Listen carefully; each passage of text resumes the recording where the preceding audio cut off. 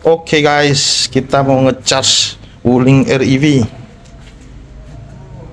Hah? Oke, ambil itunya guys. Nah, colokannya terus dibawa, oke. Sini. Nanti kuncinya untuk mulai. Nah, kemudian dibuka tutupnya guys. Nah,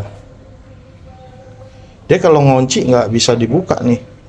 Nanti harus dipencet tuh. Pencet yang mana guys? Yang mana? Itu tunjukin guys.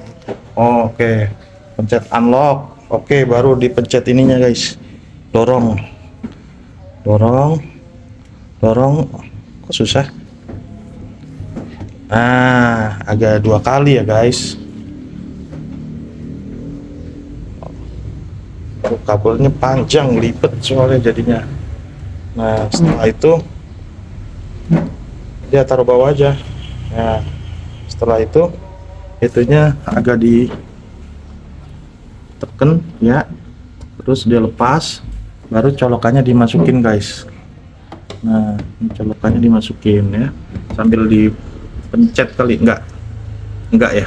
Kalau ngelepas baru dipencet ya. Udah. Nah tuh udah bunyi tuh. Tek.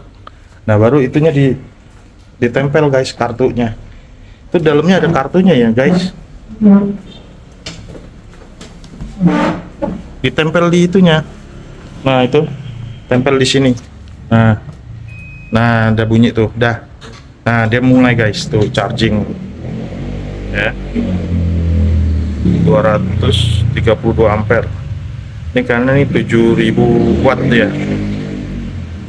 Wuling tuh. Jadi suaranya udah mulai ngecas guys ya oh udah ngunci ya? Lihat ya tuh 31,8 ampere. Tuh 7000 watt hour ya kan? 0,08 kilowatt hour 205 volt kaliin aja guys.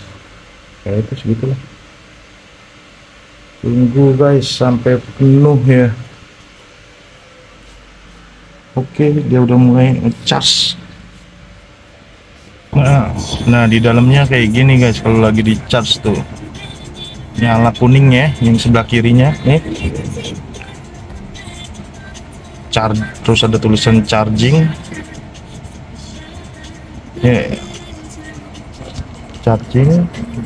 Terus ada ini sekarang 85% ya. Nanti lama-lama naik guys. Gitu gitu ya guys. Oke guys. Kita tunggu 85 ke 100 persen. Butuh berapa lama? Mungkin satu jam. Oke guys gitu aja dulu. Semoga membantu. Makasih